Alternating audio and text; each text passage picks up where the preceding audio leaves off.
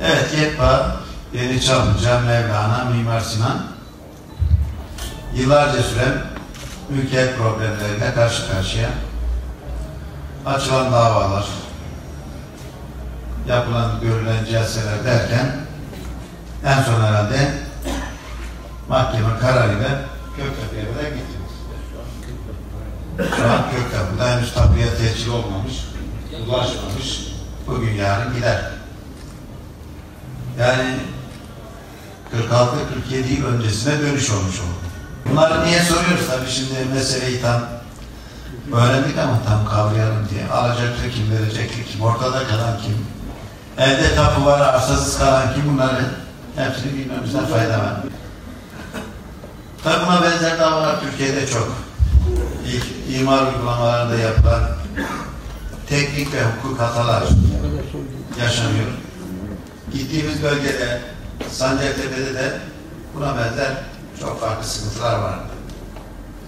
İmar problemi vardı. Yeni Doğan Sarıgazi planları iptal olmuştu. Gittiğimizde bir enkaz, özellikle Yeni Doğan bölgesinde çok sayıda 550'nin üzerinde şantiye vardı.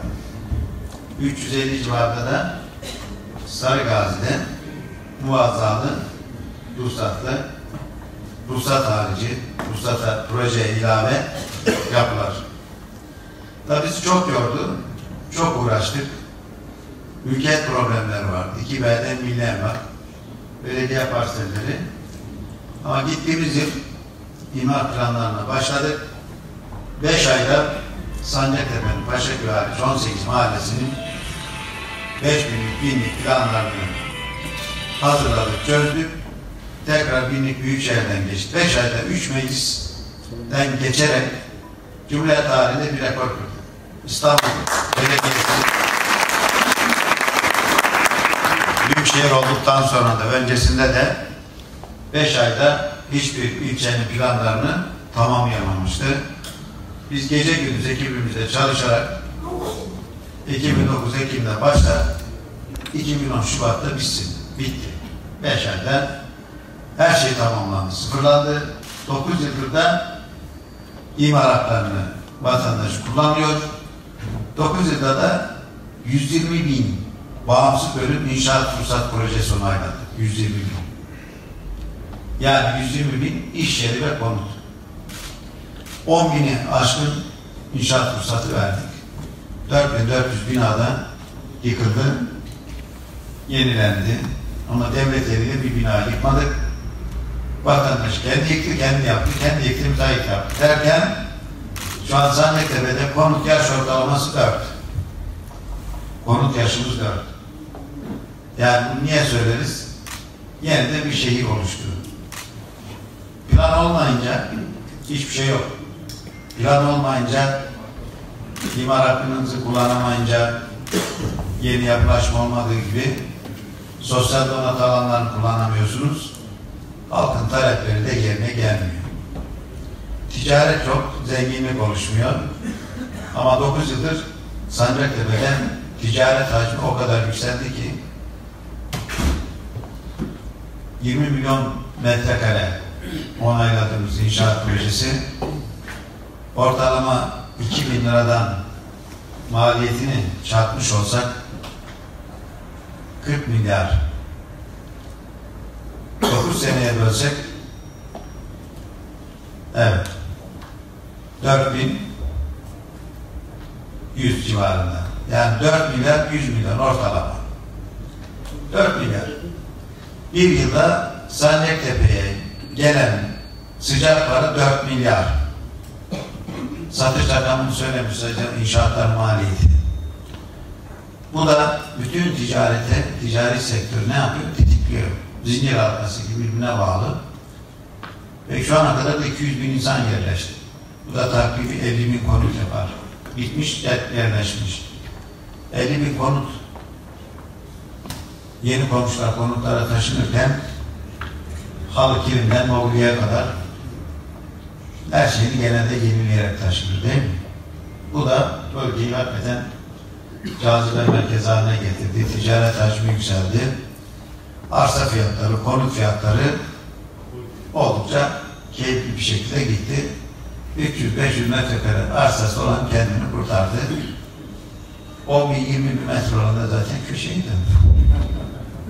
Şimdi daha yeni belediye olduk. İşte 5 binlikleri çıkardık ama hiç kimsenin haberi yok. 45 bine çıkardık 5 binlik. Hiç kimseye söylemedik. Niye söylemedik? Bunu ilan etsek herkes müdahil olacak. Benim arsam ticaret olsun, benimki sanayi olsun, benimki köşe başı olsun, benim imar hakkım şu olsun. Onlarla uğraşma şansım yok. On binlerce parsel var. Ama 45 günde gece gündüz çalışarak meclisten geçti. Samandıra'da yeni belediye binamıza yakın bir yerde bir komşumuz randevu istemiş geldi. O da otomotiv işi yapıyor. ismini vermeyelim. Dedi ki burada değil yalnız. ya dedi ben başkanım bir arsam var.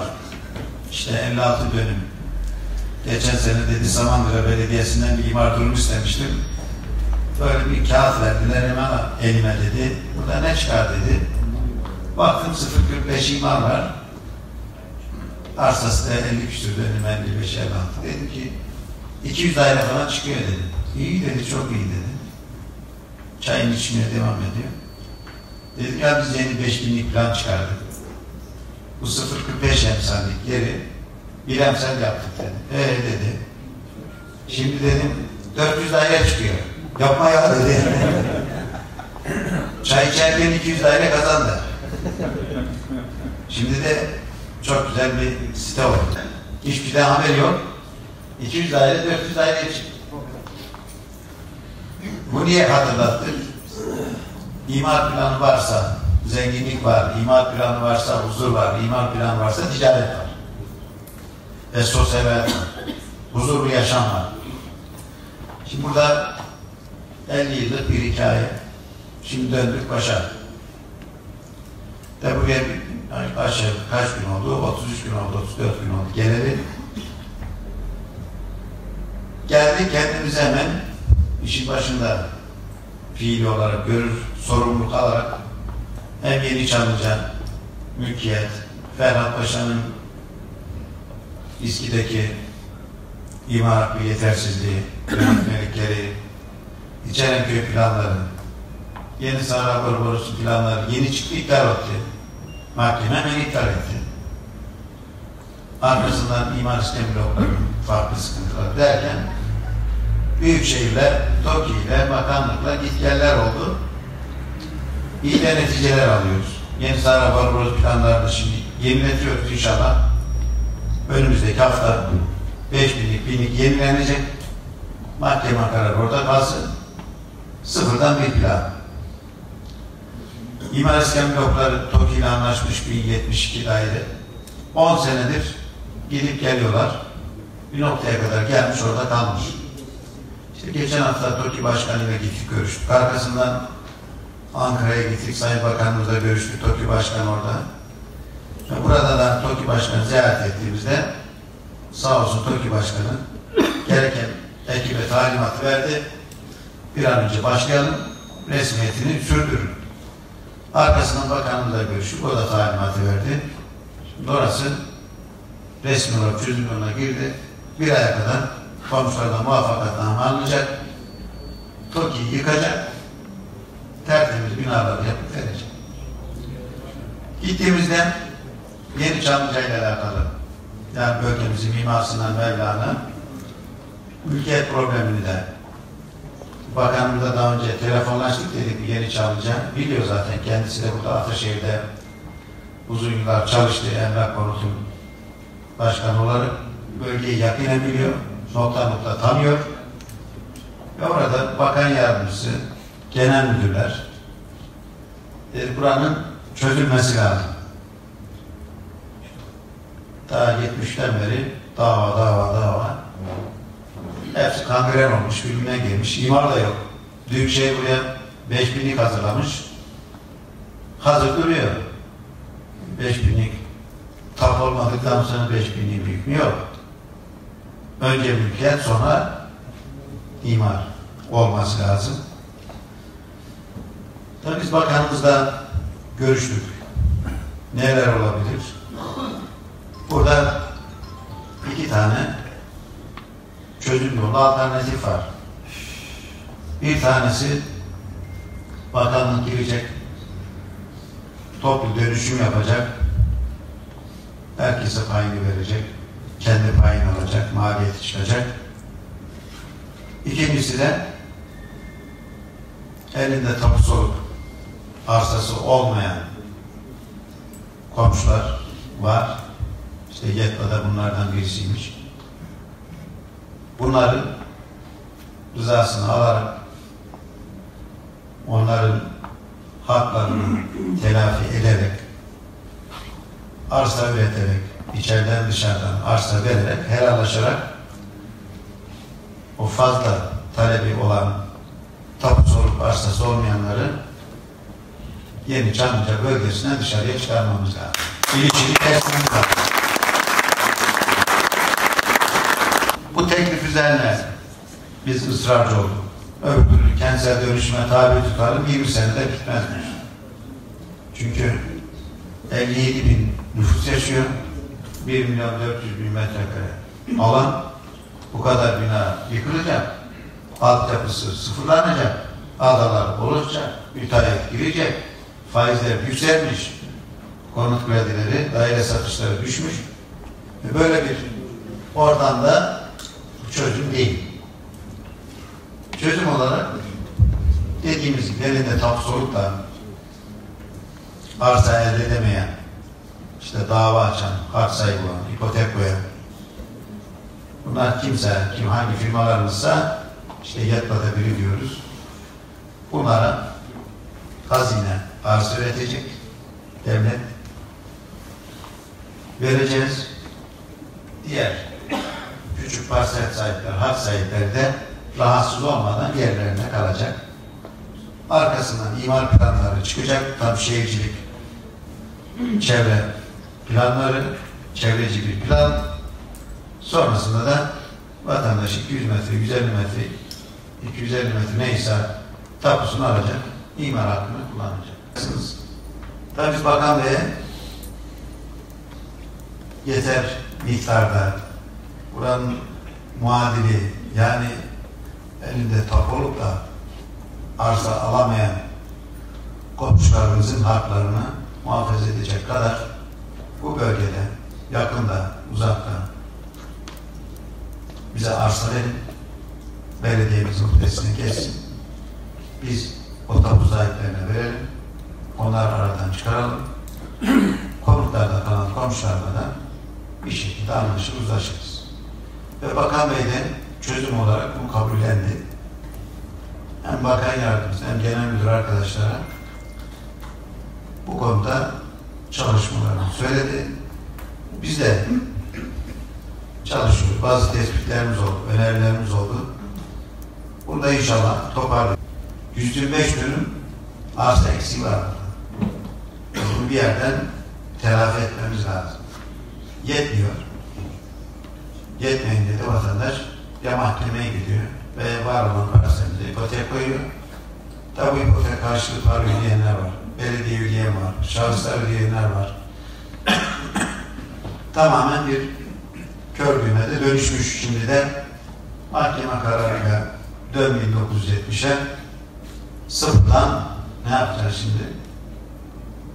Uygulama yapacağız. Yani çok uğraşılmışlar. Artısı eksisi mahkemeler, avukatlar alacaklar, verecekler.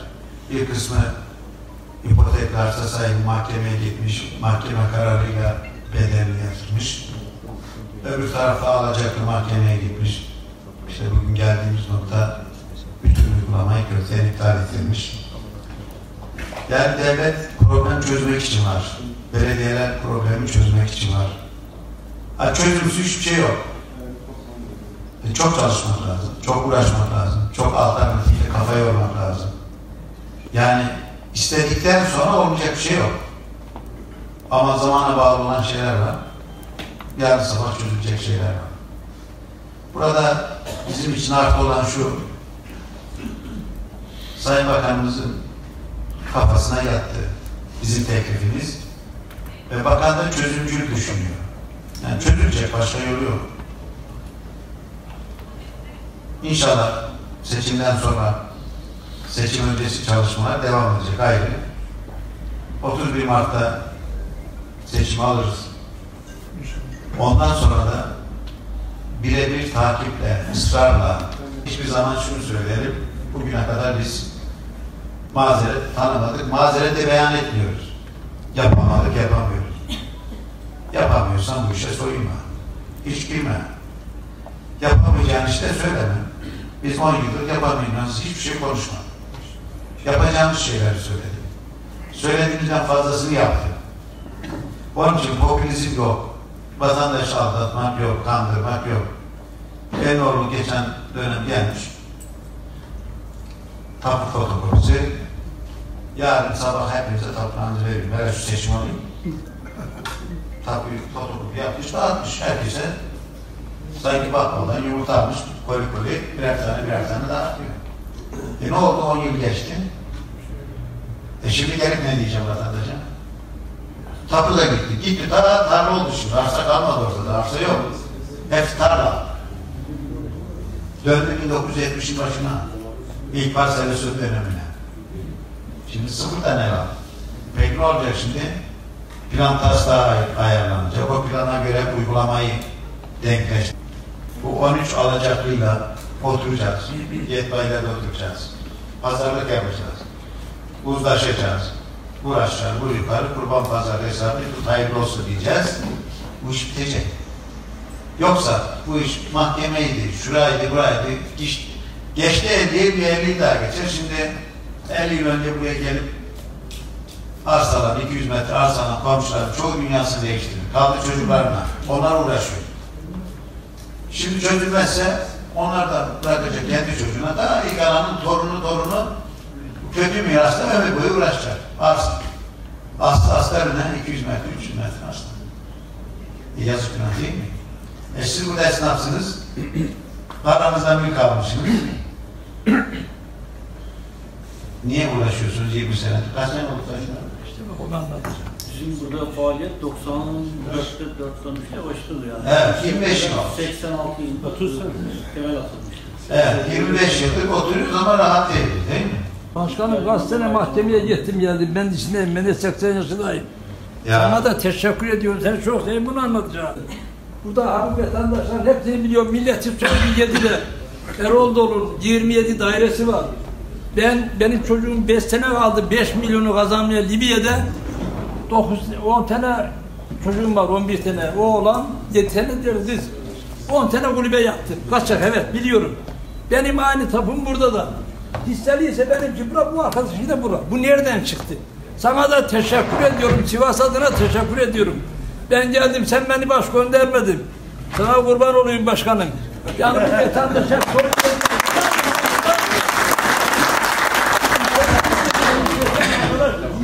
yediler milleti. Yediler, yediler. Hakime dübüdüz hakime kuyrettim benim kardeşim ne olurdu. İsteriyse dedim benim 57 metre tapum var. Kimin yerine geçmişsin? O ben hastayım elin ayağı okuyayım başkanım ya. Allah size sağlık sıhhat versin. Diyor ya ben deliyim. Çektiğimiz hep biliyorsunuz yalan mı? Evet. Şimdi sıkıntı ortada. İnşallah sen doğru çalışırsın. Sana İnşallah. Sivas adına teşekkür ediyorum. Bu işleri doğrult kurban olayım. İnşallah. Kendine göre haklı. Hiç kimse haksız değil. Bir doğru. Daha 1950'lerde, 60'larda buralar parsellenirken, satılarken her devlet yönetimi, o günkü belediye, İstanbul Belediyesi işe hakim olsa, dur dese, gayri resmi işlere göz yummamış olsa bugünkü problem yaşanmaz. Yerin oğlu almış, bu tarla benim, şu tarla senin, şurası hazine, orayı bekle, harmanlamış, satıyor. Adama vatandaşa veriyor 300 metre, hisseli tapu veriyor 50 metre. Vatandaş 1960'da 70'de hisseli tapu nedir, kaç metrekaredir bilir mi? Satıyor 300 metre arsayı 50 metre tapu veriyor. Adam da diyor ben tapu arsa aldım diyor. İmal uygulaması yapıyor. Yarısı hazine çıkıyor, yarısı Ahmet'in arsası, Mehmet'in arsası sana düşüyor 10 metre bir şey. E bu maalesef yani İstanbul'un çok yerinde yıllardır yaşanıyor. Yani burada 60'lı, 70'li, 80'li yıllarda İstanbul Belediyesi'nin aziyetinden kaynaklanan sorun bunlar. Yani hazinenin yerine, vatandaşın tapulu yerine ne diye eli sopalı adama işgal ettiriyorsun da parselle parselle sattırıyorsun. Böyle bir şey var mı? Daha başım burası. Sahipsiz bir memleketmiş yani. Ondan sonra adam parayı almış, ceketini almış, araba ısmarladı gitmiş. Geriye o gün şartlarında dar imkanlarla 200 metre arsa sahibi olan komşu başıma sokacak yerim olsun, muayenede muhtaç kalmayayım, başıma bir hal gelir. İstanbul gibi yerde çocuklar açıkta kalmasın diye başlamış dört tuğlayla iki torba çimento, dört tahta, iki beş on derme çatma girmiş içine. Yazık değil mi bu millete? Dediğimiz gibi burada devlet işin arkasında kalmış. Geçmiş dönemi itibariyle söylüyorum. E şimdi o faturayı hep beraber ödüyoruz. E şimdi biz niye bu işle uğraşalım ki bugünkü zamanda? İşimiz mi yok belediye mi? Ama kalmış. Onlar geride kaldı. Şimdi çözüm zamanı, irade. Yani bu işi ya çözeceğiz ya çözeceğiz demek zorundayız. Ve çözülecek, başka yolu yok. Yani diyelim ki gelecek dönemde çözemedik. E geçmiş olsun, bir yüzü daha gider. Ondan sonra da çözümsüz kalır. Mahkemelerle vesaire bu işler temizlenmez. En iyi yol uzlaşma. Herkes adım atacak. Orta nokta herkesin, her grubun neyse aslında mülk sahibinin hakkında, hukukunda korumakla. Kimsenin hakkını kimseye aktararak değil, hak içerisinde çözülmesi lazım. Dediğimiz gibi hazineden ilave arsalık alanımızı büyüteceğiz. Plan ve uygulamayla hak sahipleri herkes hakkını alacak. Ama burada yaşayan 57 bin vatandaşlar bu stresten, sıkıntıdan kurtulması lazım.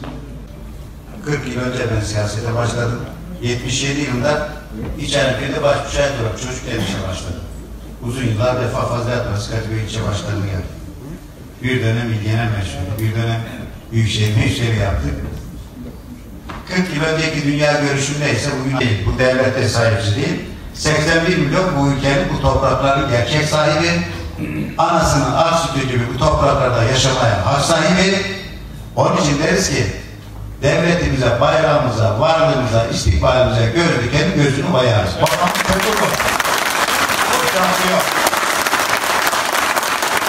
Yok. Bir savaşta, bir cephede bu millet 253 bin şehit veriyor. Bir cephede, Çanakkale'de İngiliz geçip İstanbul işgal etmesin diye 253 bin canı feda ediyoruz. Sarıkamış'ta, karda buzda, Doğuda 90 bin Mehmetçik o fırtınada canını feda ediyor. Ne için? Bu devlet, vatan, bayrak, istikrar için. İstikbalimiz için. Onun için hiç kimse kusura bakmasın. Kim ne vatana ihanet noktasında, devletimizin istikbali noktasında, bu milletin kaderiyle oynama noktasında eğer ihanet içerisinde olur, var olursa bedelini öder ve ödemeli. Kim olursa. Evet. Sizi de yakından tanımış olmak bizim için bir büyük şeref oldu. Estağfurullah. Yani bilgilerinizle ilgili.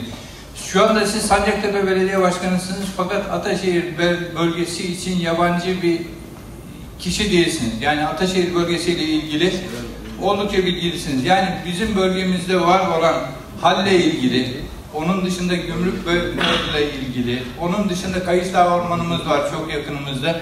Bu bölgelerle ilgili herhangi bir oluşmuş fikriniz veya projeniz varsa onlarla ilgili bilgi alabilir miyiz? Teşekkür ederim. Evet, teşekkür ederiz. Da benim köy gümrüğü tam 31 yıl oldu. 98'de gelmişti. 98, tam 31 senelik mevzu. İnönü, Kayışdağ, İçerenköy'ün üst tarafı, Atatürk Mahallesi'nin güney cephesi, Küçük Bakkaköy. Yıllardır orada tır parklarıyla gece gündüz yoğun trafik kazalarıyla hep boğuştu kaldı. Ve böyle tasarlanırken 80'li yılların başında boş bir alandı. İstanbul kenarı diye. Ama şimdi kaldı şehrin merkezinde. Tam ortasında kaldı. Evet, orası daha önceden gündeme gelmiş ama o tarafını ben bilmem. Ancak biz aday olduktan sonra proje çalışmasına başladık. Neler yapılabilir? Sorunlar nelerdi? Bunları tespit ettik. Günübirlik. Ve arkasından Büyükşehir Başkanı'yla görüştük. Binali Yıldırım Bey, başkan adayımız inşallah başkan olacak. Ve ilk teklifim o oldu. Dedim Erenköy Gümrük trafik açısından yoğun bir trafik yükü var. Yani hiç etmediğimiz bir yük taşıyoruz orada. Çünkü bize bir faydası yok. Neticede gece yarısı geliyor rastgele istediği yere çekiyor mahalle aralarına. E ondan sonra uygunsuz hareketler. Geliş saati belli, gidiş saat. Eskiden otoparklar vardı. Onlar da inşaat yapılınca boşaltılmış. Hepten caddelerde, sokaklarda kaldı. Dedik burayı komple boşaltalım. Ataşehir'in yeşil alan eksikliği var. Yeşil alan yok. İstanbul ortalaması yarısının altında. Ve buranın yeşil alan olarak, millet bahçesi olarak kullanılmasını teklif ettik. Sayın Başkanımız da hayırlı olsun dedi, yerinde bir teklif. Kamyon, tır trafiğinden Ataşehir'i kurtarırız dedi. Arkasından Ankara ziyaretimizde geçen Perşembe akşamı da Murat Kurum Bey de Şehircilik Bakanı'nda paylaştı. Arkasından Gümrük Ticaret Bakanımızı aradı. Dedi ya burası trafik, çevre, gürültü kirliliği var. Artı bölgenin yeşil alanı yok. Burayı boşaltalım. Başkanımızdan teklifi burayı yeşil alana döndürelim. Sayın Bakan da olumlu yaklaşarak bakan yardımcısıyla arkadaşlar dedi irtibata geçsinler. Ciddi anlamda ele alalım ve çözelim. Bakan Bey de arkasından Şehircilik Bakanı olarak biz orayı tamamını yeşil alan yaparız. Millet bahçesi yani kıraathaneleri, kütüphaneleri, sanat merkezleri, yürüyüş yolları, bisiklet yolları, süs havuzundan yüzme havuzuna, voleyboldan halı sahaya kadar tamamen bir sosyal mekan, yeşil alan, asırlık çınar ağaçları biz de Şehircilik Bakanlığı olarak üstleniriz ve yaparız. Ya Bakan Bey'in de yapımına dair böyle bir söz oldu. Bundan sonrası Gümrük Ticaret Bakanlığı'nı takip edeceğiz. Tuzla'dan Orhanlı bölgesine, Sabiha Gökçen'e yakın bir yerde imar planlarında büyük bir lojistik alan ayrılıyor. 1 milyon 250 bin metrekare civarında. Çünkü Sabiha Gökçen'e şimdi ikinci pist yapıyor. Orada kargo taşımacılığı da hızlandırılacak. Ve hem uçak hem üçüncü yol girişi hem temin kenarı hem deniz hem liman hepsi uç noktada birleşiyor. Yani Sabiha Gökçen uç noktası gümrük için, lojistik alan için şu anda bölgenin en hassas, en verimli yeri. Yüksek ihtimalle oraya gidecek. Halle ilgili de şu anda Tuzla'da Büyükşehir Belediyesi yeni hal projesini başlattı, inşaat devam ediyor. Burayla ilgili imar planı hazırlanıyor şu anda mecliste. İnşallah onu da bir daha yarın gideceğiz. Görüşeceğiz. Metro istasyonu da var. Hükümet konağı yok ilçenin. 10 yıl geçmiş hükümet konağı yok. Bir hükümet konağı, bir kongre merkezi nikah salonları, 55 bin metrekare meydan, 30 bin küsur metrede yeşil alan olarak şu anda planlandı. O şekilde mecliste geçerse yani büyük bir şehir meydanı, bir okul, bir de camisi var. Kazanılmış olacak. Yani 54 bin metrekare meydan, 30 bin metrekare yeşil alan, istasyon da var. Orası tamamen Ataşehir bir dağıtım merkezi. Ulaşım açısından da rahat. Tabii bu kayış ormanları akşamcılara mekan olmuş. Tabii Sancaktepe'de geçen yıl 155 dönüm. Bu sene de 55 bin metrekareyi ormandan kiraladık. Mesik alanı yaptık, hizmete girdik. Şimdi burası yani bu sıfır noktadan devam edelim. Büyük Bakkalköy çıkışına kadar sağ taraf ölü bir vaziyette duruyor. Kirli paslı, sivrisinek üretimi var. Akşamcıların mekanı ve gerçek anlamda batakhane. Ne olduğu belli değil. İnşallah nasip olur bir Nisan'dan sonra Orman Bakanlığı'ndan kiralayarak burayı tamamen mesire alanı olarak halka.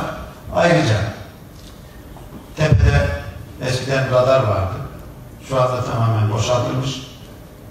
Buraya da bir teleferikle çıkarak bir sosyal tesis, bir seyir terası projelerimizin ve tekliflerimizin içinde var. Tamamen Marmara'ya hakim, Boğaz'a hakim, 360 derece her tarafı görebilen bir yer. İnşallah bunları da projelendiriyoruz. Büyükşehir'le de paylaştık sosyal tesisi. Binali Yıldırım Bey bizle beraber inşallah göreve geliriz. Bir bir bunlar hayata geçer. Sayın Başkan daha ne yaptı?